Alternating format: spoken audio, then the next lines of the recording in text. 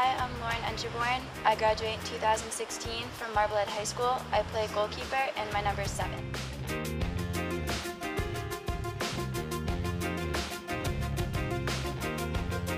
Salem on the attack. Unterborn there to get the ball. I don't think Salem is going to score from 30 or 20 yards out. As long as Unterborn can see the ball, passes well, puts the ball ahead, Salem on the attack, shot on net. And Lauren Unterborn, who had a clip in the glove attack, getting by Mealy.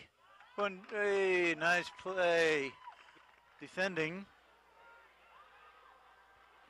Unterborn gets to the ball before the Salem. Salem on the attack, trying to get through the Marblehead defense. There's a shot on net. Good shot on net from Pullen. Saving, saving in the way. The kick toward the net. For Salem from about 25 yards out. Diagonal. Unterborn makes a save. That was a good save by Unterborn. Ball fighting for it. Marblehead. Goal, Mealy. An attempted header with a good kick. And of course, it makes it.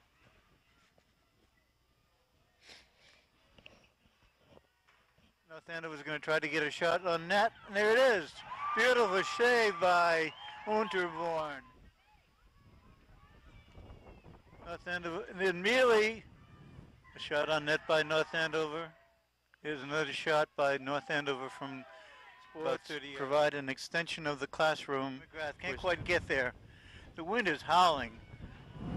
Here's Unterborn playing that perfectly. Trying to get the ball out, can't.